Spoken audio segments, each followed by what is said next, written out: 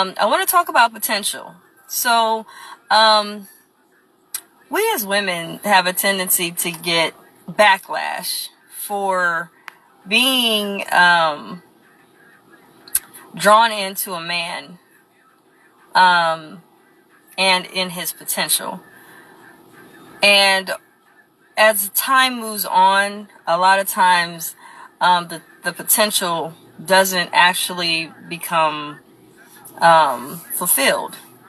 Um, and then a lot of times, uh, we as women will look back and say, yeah, you know, I did kind of get caught up in a man and his potential because I thought he was going to be this because of what he said. Or he said he was going to do this, or he said he wanted to aspire to become this, or he said he had goals and his goals um, he laid out in front of me sounded very good. And so um, I got excited about it. I was uh, very um, intrigued by it because he had um, some true thought in what he wanted to be.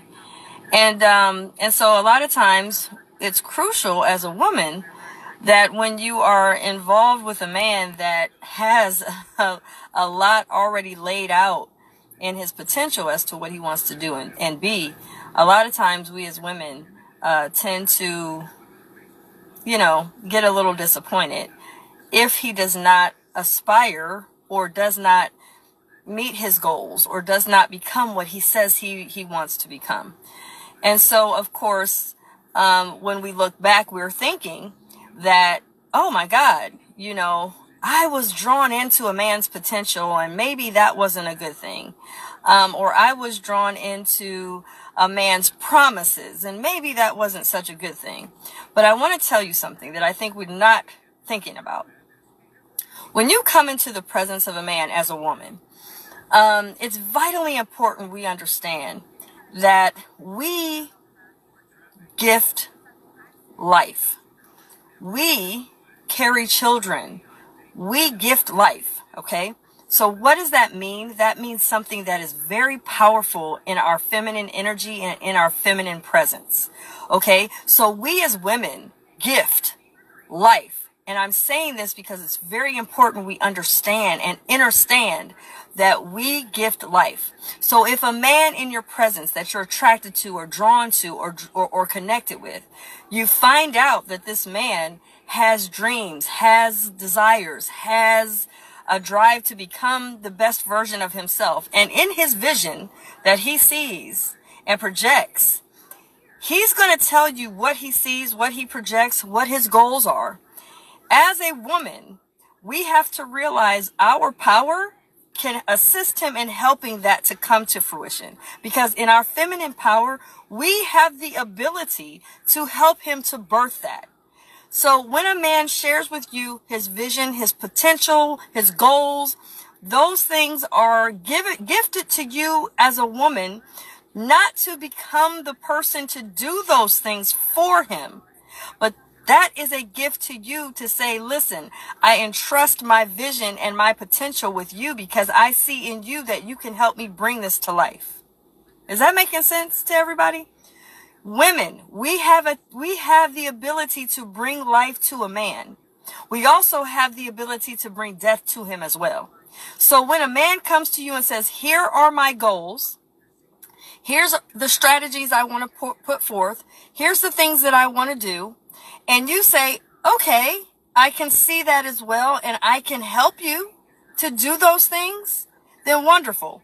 But if you're sitting before this man that's giving you all of the things he's wanting to do and you really cannot see it in your own sight, please say something to him. I, I, I don't get it all or I can't see it or please help me to see it because I'm not on the same page with you. I'm not sure of how you're going to get there. I mean, what does this mean to me? Uh, why do you entrust your vision and your, um, um, strategy and your, your, your desires? Why do you entrust that with me?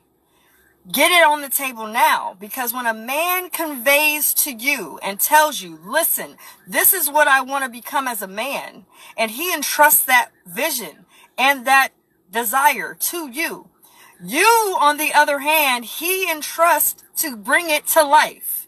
Just like when a man gives you sperm, you give him a baby, it's the same thing. He's giving you his vision. Now he's, now you're going to help him to bring it to life if you're the woman that he's so entrusted to do that with.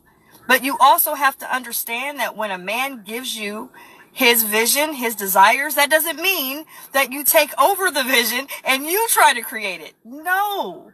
You become parallel with him. But what does that mean? That means that you don't become intrusive. You don't become someone that's doing too much. You allow him to still be driven, but you also encourage.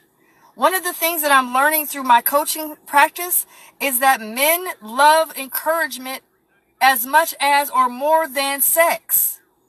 This is the truth. And it's something because a lot of times we don't want to talk about the truth. The truth is men love encouragement. They love a woman to see their vision. They love a woman to be encouraging them for what they need and what they want. So if you have the vision from the man that's gifting it to you, know that you are the woman he chose to give it to. Now you have the ability as the woman, you have the ability to bring his pot- potential to fruition. But first you have to look at yourself and say, can I do this? And, and I'm, I'm honored that he chose me. But as a woman, can I do this? And am I willing to? And do I see the vision? And do I, do I see the vision? Number one. And can I fall in love with the vision? Can I be a part of the vision or not? Because that's something that's also important. See, when a man and, when a man and you connect and you decide to be with that man, it's not just about physical. It's not just about sexual. It's not just about what he's doing for you and how many gifts he's buying you and how many times you go on trips and all of that. Those are nice things. But, but the truth of the matter is, what really matters is what are you birthing in the relationship for him and you to grow together as one?